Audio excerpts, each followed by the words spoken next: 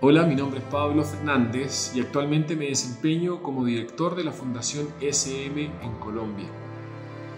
Quisiera contarles ahora una historia que hasta el día de hoy recuerdo porque me marcó profundamente.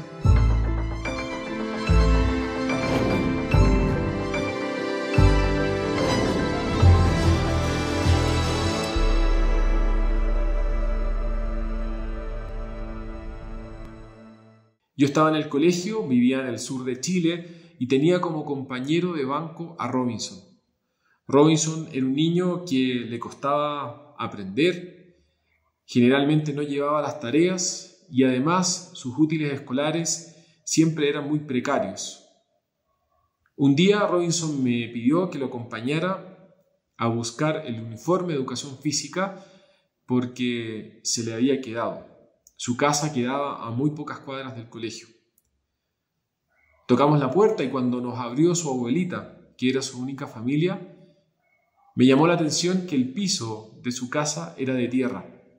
Tenía una sola habitación esa casa y la mesa que había ahí servía de escritorio, pero también de lugar para comer, para desayunar. Esa escena marcó mi vida profundamente porque me hizo cuestionar por qué habían personas que no tenían las mismas condiciones que yo en ese momento. Si bien era muy pequeño, esa pregunta me caló y siempre estuvo y está en mi vida. ¿Por qué Robinson tenía esas condiciones y por qué yo, estando en el mismo colegio, tenía condiciones muy diferentes y mucho más favorables?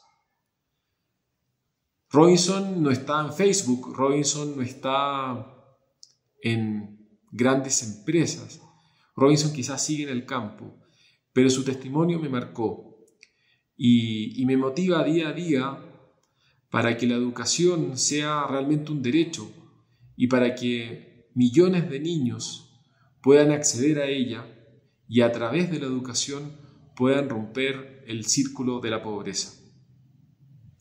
Robinson, gracias. ¿Y a ti? ¿Qué hecho cambió tu vida?